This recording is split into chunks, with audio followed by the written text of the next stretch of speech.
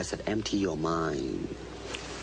Be formless, shapeless, like water. Now you put water into a cup.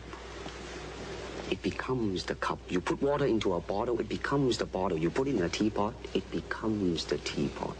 Now water can flow or it can crash. Be water, my friend.